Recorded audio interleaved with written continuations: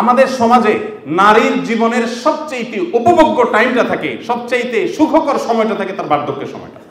শূন্য, সামন্ত ছেলে ফেলে নাতিপুতি, সব চারপাশে ঘিরে থাকে। ভাবটাই অন্যরকম। যৌবন বয়সের স্বামীর সংসারে টুকটাক ঝামেলা ছিল, ননদ দেব শাশুড়ি, নানান কাহিনী ছিল। মাগের যখন বৃদ্ধ হয়ে গেছে, এখন সারা জীবন ডিস্টার্ব করা স্বামীটাও এখন বিড়ালের মতো সোপার এক কোনা চুপচাপ বসে থাকে। কেন বসে থাকে? কারণ তাকাইলে দেখে ছেলে ডানে, মেয়ে ডানে, ছেলের ঘরের নাতি, মেয়ের ঘরের পুতি, সব চারপাশে ঘেরা। বুড়ির যে পাওয়ার, তাতে বেচারা চুপচাপ মিসকিনের মতো বসে থাকে সোফার এক কোণে আমার সমাজে নারীর অধিকার নবী করিম সাল্লাহ সাল্লাম এমনভাবে প্রতিষ্ঠা করে গেছেন, নারীর জীবনে যত তার বয়স হবে, তত তার মর্যাদা বাড়বে, তত তার মূল্য বাড়বে, তত তার গুরুত্ব বাড়বে, সংসারে তার আধিপত্য বাড়বে, তার কর্তৃত্ব বাড়বে, তার মর্যাদা বাড়বে। আর তোমরা যে নারীর অধিকারের কথা আমাদেরকে সবক শোনাতে আসো, তোমার সমাজে নারীর নিগ্রহের যে পরিমাণ, যে রেশিও নির্যাতনের যে হার, সেটা আমরা সবাই জানি আজ গুগলের এই সময়, অনলাইনের এই সময়। আমি সেজন্য বলি, হে মুসলমানের সন্তান, হে আমার ভাই, আপনাকে কোনো নীতিবাক্যের সবক মোহাম্মদ সাল্লাহ সাল্লামের উন্মত হিসাবে আপনাকে পৃথিবীর কোনো সভ্যতার কাছ থেকে ধার নেওয়ার কোনো প্রয়োজন নেই। আপনি নিজে এত সমৃদ্ধ, আপনি এত রিচ আপনি জানেন না। আপনার মানবাধিকারের প্রয়োজন, আপনার পশুর অধিকার প্রয়োজন। পশুর অধিকার নিয়ে তিনি কি করে গেছেন? কোনো পশুকে যদি জবে করেও তোমার খেতে হয়, ছুরি ভালো করে ধার দিয়ে নাও।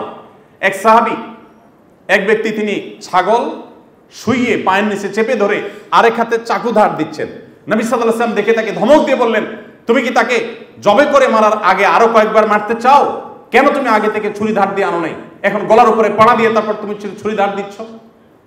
আরেকজনকে পিপিলিকা মারতে দেখেছেন, আগুন দিয়ে পোড়াচ্ছে।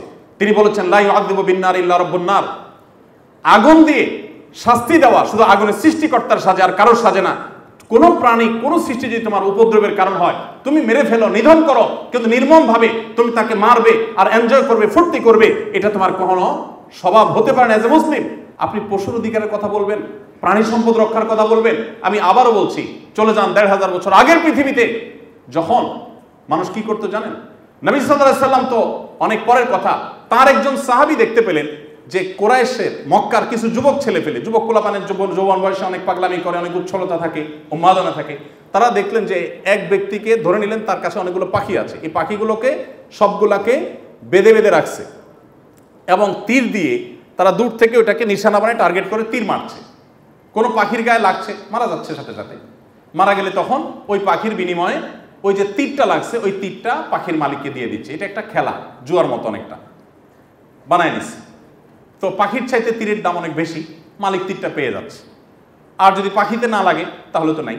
তো এইভাবে একটা খেলা তারা সাজাচ্ছিল। জাস্ট এনজয় করছে, পাখিকে নির্মমভাবে মেরে মেরে।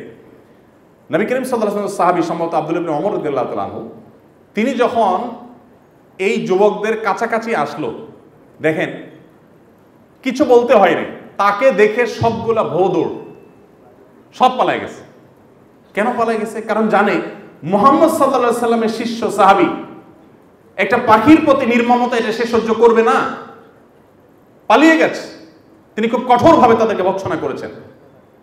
এবং তাদের এই বর্বরতার বিরুদ্ধে তিনি কথা বলেছেন। ভাইরা, আজ আপনাকে যারা মানবতার সবক দেয়, আর আপনি শুনে খুব বেশি আপ্লুত হয়ে যান, ফিলিস্তিনে নিরীহ মানুষগুলোকে পশুর মতো, পশুর চাইতে আরও নির্মম ভাবে অনবরত হত্যা করে ফেলা হচ্ছে, তাদের মুখে কোনো মানবাধিকারের কথা সেখানে পাবেন না। আপনি মোহাম্মদ সাল্লাহ সাল্লামের উম্মত, আপনার মানবাধিকারের সবক, আপনার পরিবেশ রক্ষার সবক, আপনি যে কোনো কিছুর সবক নিতে যান। আপনাকে পৃথিবীর কারও কাছে যাওয়ার দরকার নাই।